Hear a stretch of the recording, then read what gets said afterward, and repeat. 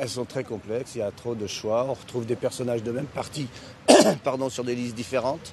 Euh, ouais, lisibilité euh, zéro pour moi. Vous avez toujours voté aux élections européennes?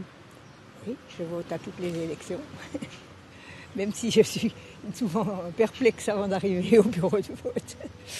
Moi, en tant qu'enseignante, j'essaye de, justement d'enseigner ça à mes élèves, parce que être électeur, c'est important et c'est un droit que nous devons assumer aussi. On a des devoirs, mais on a, surtout on a beaucoup de droits aussi.